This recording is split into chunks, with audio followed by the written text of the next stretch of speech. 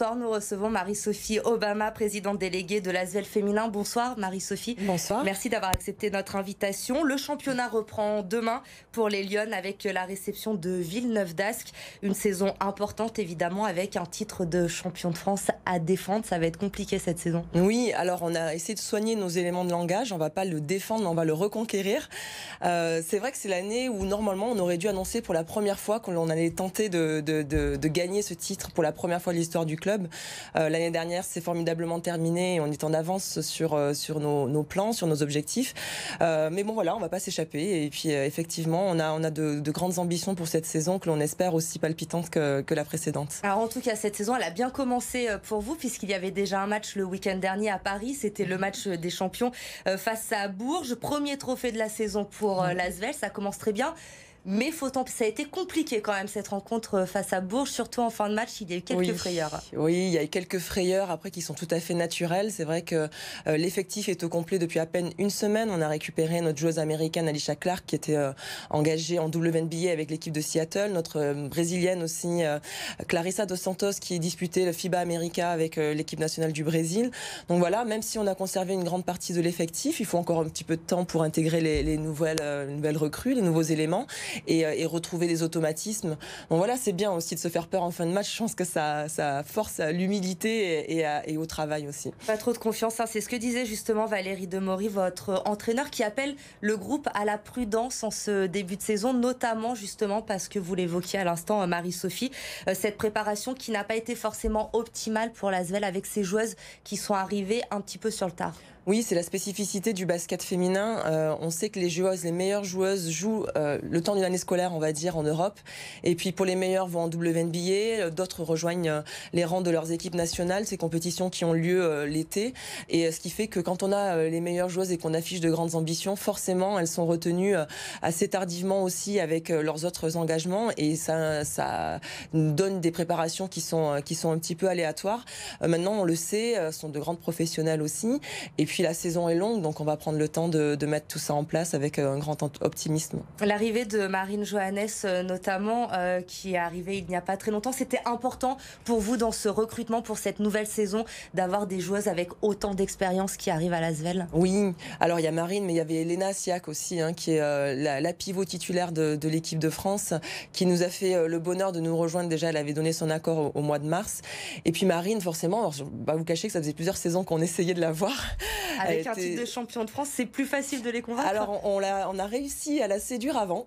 avant, voilà. Elle avait besoin d'être rassurée sur le fait que l'on puisse évoluer en Euroleague et, la première place de la saison régulière nous a donné euh, d'ores et déjà un ticket pour l'Euroleague cette saison. Euh, donc voilà, c'est à ce moment-là qu'elle s'est qu'elle s'est engagée. Mais c'est vrai que pour nous, euh, c'est important. On a de l'ambition sur la, chaîne, la scène européenne. Euh, c'est important de pouvoir réunir les meilleures joueuses françaises et comme le font aussi les, les garçons, d'être d'être euh, le club refuge de, de, nos talents français, de pouvoir offrir au public français aussi euh, la, la joie de, de voir évoluer les meilleures joueuses nationales. C'est important. L'Euroleague, justement, les garçons l'ont redécouvert la semaine dernière. Ça s'est très bien passé euh, pour eux. Vous, ce sera la semaine prochaine, euh, ce, cette euh, expérience sur la scène européenne pour cette première saison.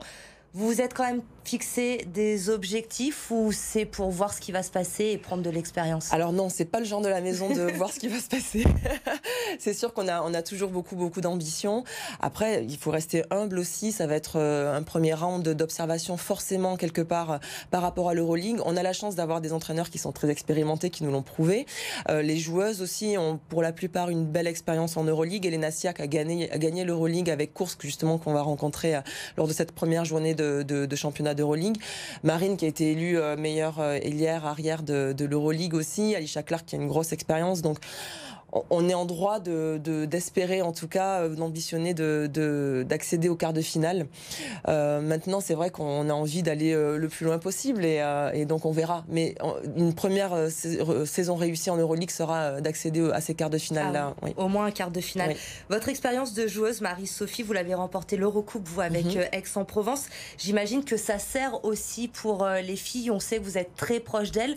Vous parlez avec elles justement de cette importance du euh, de la scène européenne, de ces matchs qui, sont, qui ont une saveur un petit peu particulière. Vous êtes euh, souvent en contact avec elle? Oui, alors j'essaie au maximum, même si c'est important de laisser sa place à chacun. Hein. C'est vrai qu'on a, on a Tony déjà qui prend Tony par cœur, qui prend beaucoup de place. Il y a Nicolas Batum aussi qui, qui, est assez présent. Et puis après, il y a, il y a tout le staff sportif, Valérie de Maury, Guy Prat. donc voilà, j'essaie de pas être omniprésente sur le plan sportif, mais c'est vrai que je, je, je, dis souvent, moi je suis, je suis garante des, des valeurs et, du bien-être, de l'épanouissement des, des, joueuses.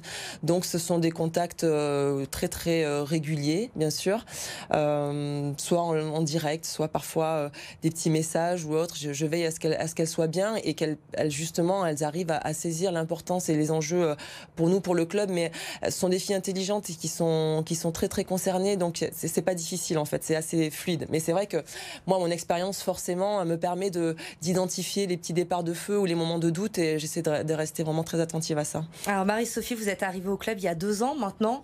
Il s'est passé beaucoup de choses en, en, seulement deux ans. On l'a dit, ce titre de champion de France qui est arrivé un peu plus tôt euh, que prévu. Il y a eu euh, ce naming également la semaine dernière. Maintenant, on dit bien LDLC Asvel féminin. C'est une première pour un club de basket féminin. Au bout de deux ans, tout va très vite. Quel bilan vous tirez Vous vous attendiez à autant de réussite aussi rapidement? Alors, euh, concrètement, non. Disons que euh, on, savait, on sait où on veut aller. On veut vraiment, euh, oui, rebattre les cartes du basket féminin, faire en sorte d'être une locomotive comme Bourges l'a été pendant de très nombreuses années et l'est toujours. Hein, mais on, avait du mal à se dire que ça pouvait. Enfin, là, on n'envisageait pas de naming. Quand Laurent de la Clergerie est, venu nous, trouver en fin de saison dernière, il nous a proposé de faire LDLC Asvel féminin. C'est vrai que ça a été une grande surprise pour Tony et pour moi. Euh, mais en même temps, euh, moi, je savais en venant ici et en répondant euh, présente à l'appel de, de Tony qu'on allait forcément faire des choses extraordinaires qui allaient nous, surprendre. Il, est de ces pionniers qui, font, qui s'aventurent sur des, sentiers qui sont pas forcément, qui, enfin, qui sont inexplorés. Et donc, donc voilà, on se laisse aussi porter avec un grand optimisme et on ne s'interdit rien. Donc à partir du moment où on s'interdit rien, on ne peut qu'être agréablement surpris aussi. Tony Parker, le président de l'ASVEL, c'est lui hein, qui est venu vous chercher il y a deux ans. Vous vous connaissez depuis très longtemps. Mhm.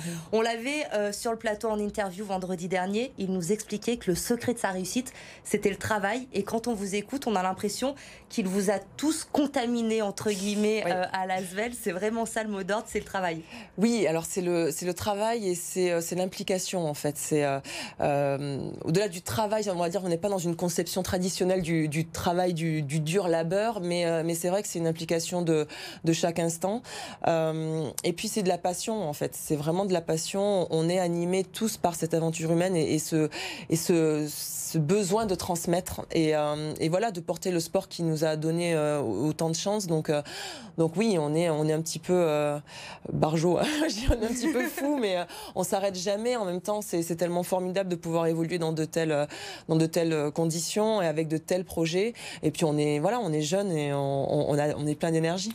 Et donc, on l'aura compris, Marie-Sophie, un titre à reconquérir cette année et au moins un quart de finale d'Euroleague pour les filles. Je rajoute euh, d'accompagner les garçons euh, pour la finale de la Coupe de France à Bercy.